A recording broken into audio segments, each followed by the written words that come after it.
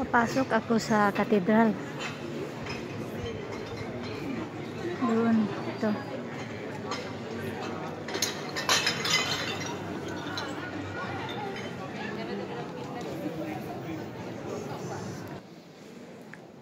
Yan ang patron namin, si San Gimignano. Yung santuary na pinagtrabahoan ko, yun, santuary ni San Gimignano. Ito naman sa katedral, nandito yung ano niya, katawan. Ano, walang tao kasi alas 2.30 dito ngayon. Alas 2.30.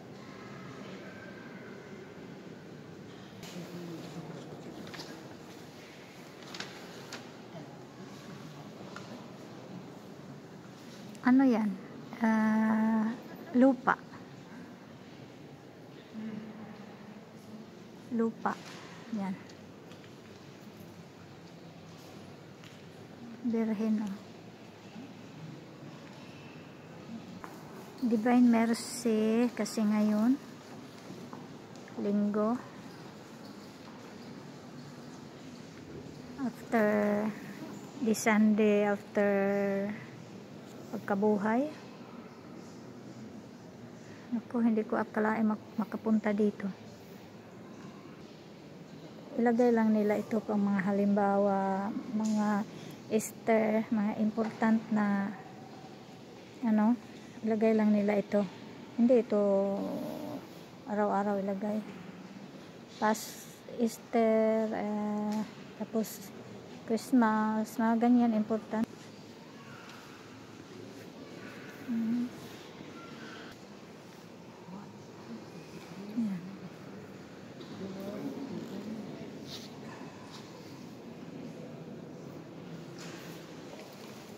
1 euro candle nila. Tumaas na rin. Maraming turista. Maraming turista. Hmm.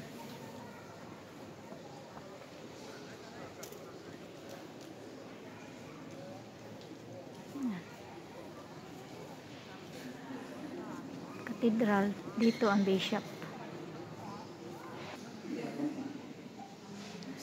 kapilya ni nasa ilalong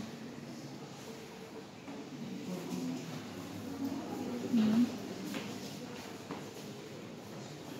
dito ako na Chris Chrisima. Ano ba yun? Chrisima sa English. Dahil wala akong documents.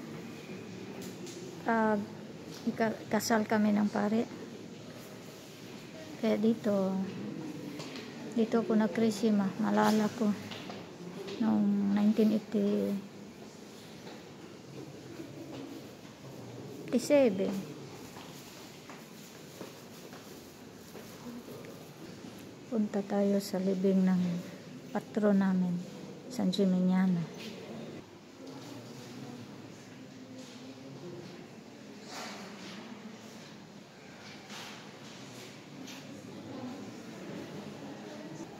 yan ang libing kaso lang sarado hindi na hindi nakita ito. Santo siya Saint Santo. San Gimignano. Kaso lang hindi sarado siya. Hindi makita ang mukha.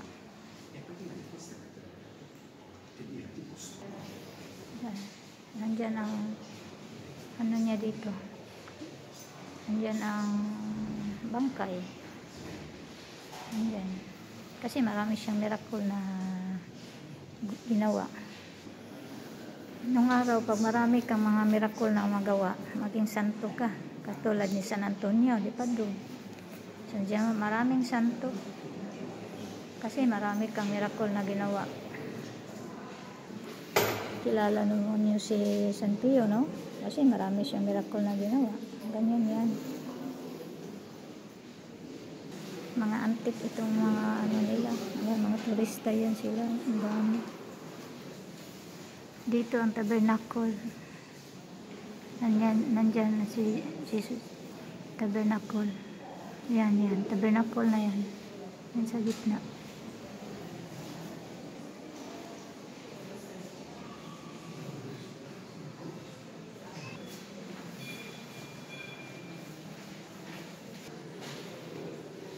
Ganda nito.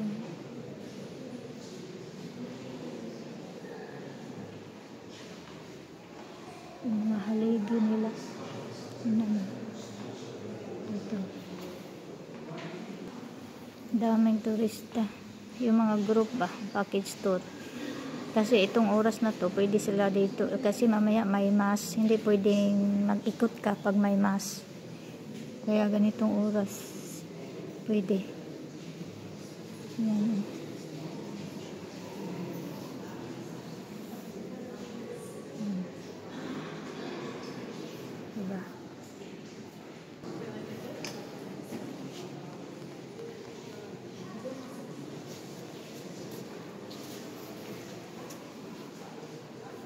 ako sa itaas. Pakita ko yung taas.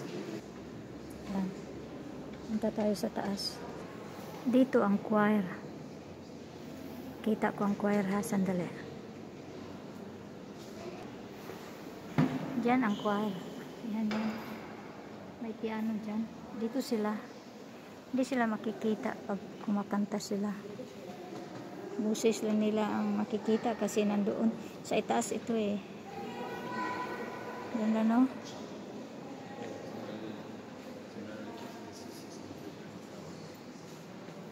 Ayan, baba. Diyan magmisa. Doon marami.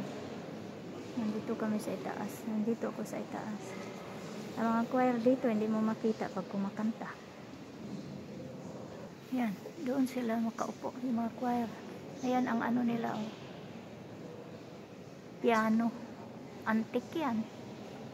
Lahat mga antik dito sa Europe.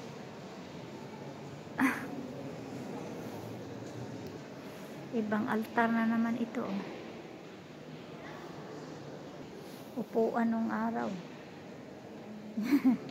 Antik yan. Dito ang sakristiya. Dito sila nagbibihis. Bababa sila. Yung mga pare ba? Ang obispo din. Yan, bababa. Tapos, magpunta na doon.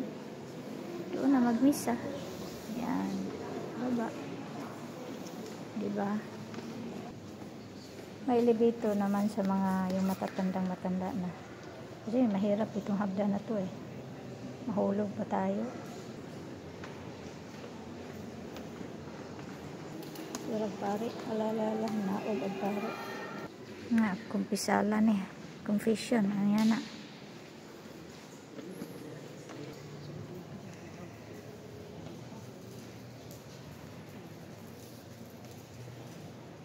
Tapusin ko na dito.